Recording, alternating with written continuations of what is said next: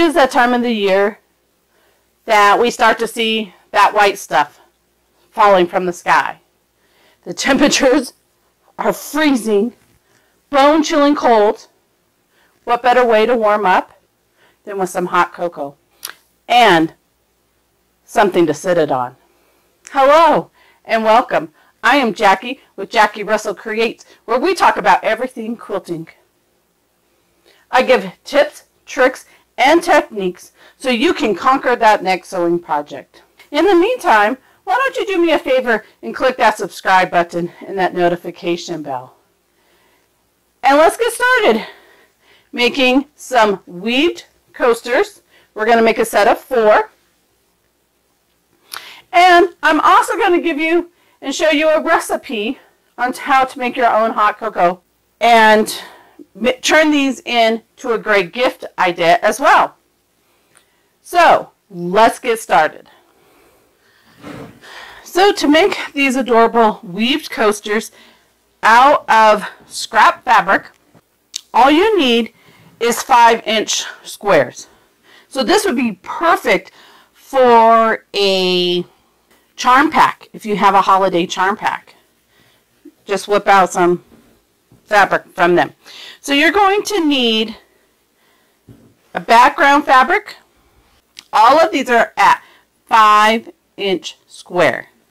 Then you're going to need four coordinating fabrics to make your weave. You're going to need a lining fabric, and I chose to have the same fabric for my backing and my lining, and then you're going to need a scrap piece of batting. That's it. You're going to take your four pieces for the weave part and you're going to fold them in half and give them a good press. So then they're going to end up measuring two and a half by five. And yes, you need to have the fold line so they do need to be cut at the two and a half, or the five inch square. So comment below and let me know. Are you a marshmallow person? Do you have to have marshmallows in your hot chocolate? Or do you like to have cream or something else in your hot chocolate? I like lots of marshmallows and a dash of cream. So once we have them all pressed, you're going to take your lining fabric, the fabric that is not going to be seen, so it could be that one fabric that no one, that you just were like, oh, that's, I don't like that, that's an ugly fabric. You want that down first. And you want the pretty side down. Then you're going to add your batting. And then you're going to add your background fabric. And I'm going to use Wonder Clips. And what, this is how I do it to keep all these layers lined up. So I'm just going to do the lining, the backing, and the batting and I'm going to line up them corners first and I'm going to clip them with the Wonder Clips. That's just going to hold these all in place because we're going to be adding some more layers to this. So I do recommend that you have a walking foot on your machine because you do have so many layers that you're going to be going through and it will help feed it through your machine a lot easier. Now you're going to take one of your folds and you're going to line it up raw edges to raw edges at the top. And then I'm just going to remove that one clip and clip again. And then I'm going to clip with this one. Your fold edge is going to be toward the center. You're going to take another folded, put the fold toward the center, and line it up along the edge overlapping the first one you did. Making sure all the edges are aligned. Then I like to come in and pin where they overlap. So I'm just going to put a clip to hold them down. And then I'm going to clip this one. Then you're going to take your third one, fold to the center, and line up those edges and clip. Once again, I'm going to clip in the center. And now that the black, or the first one we put on, you're going to have them two meeting up. So I want to make sure that my clip is holding both of those down. So I try to make sure it's right in the center. Then we're going to put our last one on. We're going to overlap, lining up those edges. I'm going to clip there, and I'm going to clip this center piece before I remove this other clip. So now we're going to remove the corner clip, lift that first piece up, and put the last piece down and the first piece up over, making sure to line up all your edges and clip that corner. Then I'm going to clip that center, making sure to have all the edges coming to the end. Then I'm going to take that one and reposition it so it's laying. So there is it ready to go to the sewing machine. We're going to stitch a quarter inch all the way around. You do not have to leave a space.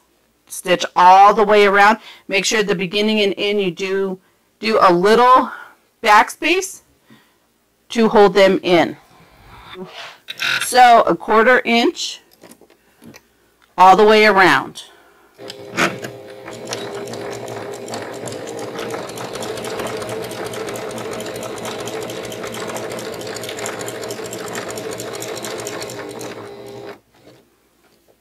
Leave your needle down when you pivot.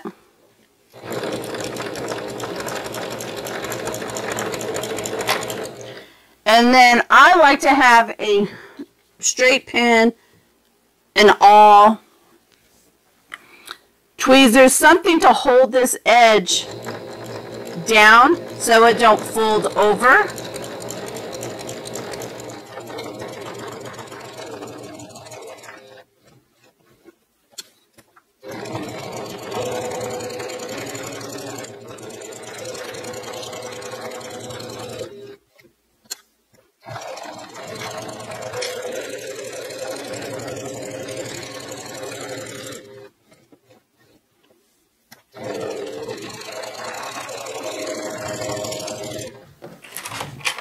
Now that we have it all sewn together, we're going to clip our corners, being sure not to clip into your stitches.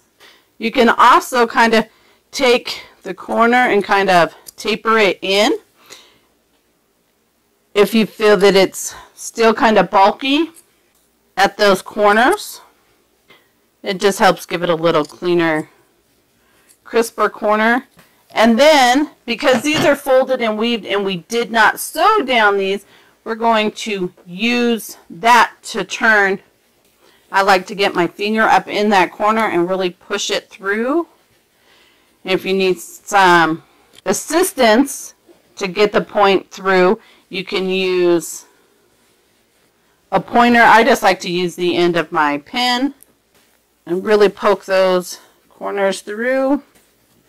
Then I make sure it's all laying flat. I give it a good press.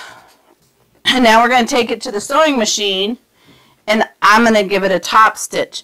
You don't have to give a top stitch. I just think it will be, makes it look cleaner. And so I'm going to top stitch around.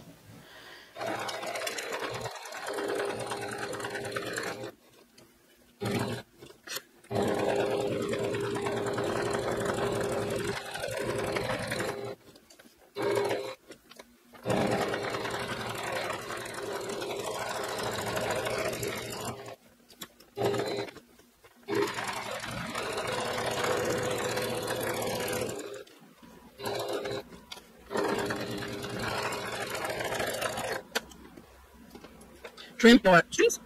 And then we have our coaster. Now let's go make some hot chocolate. So in my big bowl here, I have three cups of dry powdered milk. And to that, we're going to add an eighth of a teaspoon of salt and a half a cup of sugar. And I like to take my sugar and run it through a sieve. You can also put this in the blender or you can do it if you have a spice grinder just to help, you know, break up any of those bigger chunks. Plus it makes it a little smoother. Then you're going to do the same thing with a third cup of cocoa powder. Just help breaking up some of those chunks. Hi, Sugar May. When we make cookies, my older grandson, he likes to use the sifter. He'll sit here and go shake, shake, shake, shake, shake, and make sure it all gets sifted pretty good. And then you're just going to mix it.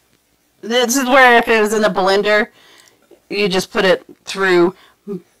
But you just mix it until you can't see any of that powdered milk. Now, if you want it sweeter, you can always add more sugar. If you want it more chocolate, you can add more chocolate. Now, I did a heaping third of a cup, and I use um, dark chocolate cocoa powder instead of just the regular cocoa powder. so this recipe is very flexible. You know, you make it to your taste. So if you need more sugar, add more sugar. If you want it a sweeter one, add more chocolate if you want it chocolate tier, I guess is how you would put it. And you can see that it makes quite a bit of hot chocolate. And you only need a quarter of a cup of mix in your cup. And then just add some hot water.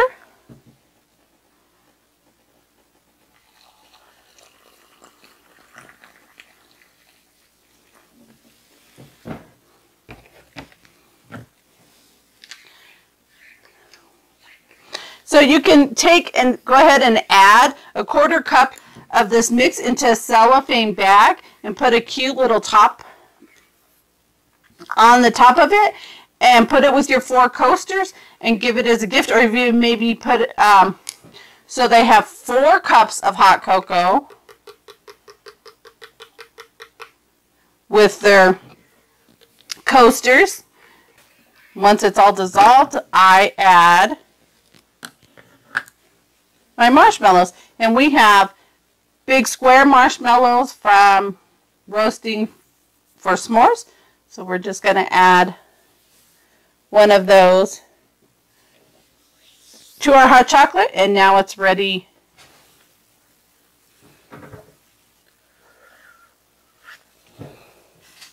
So I hope you enjoyed this video of making a fast, simple project Uh, coasters of four,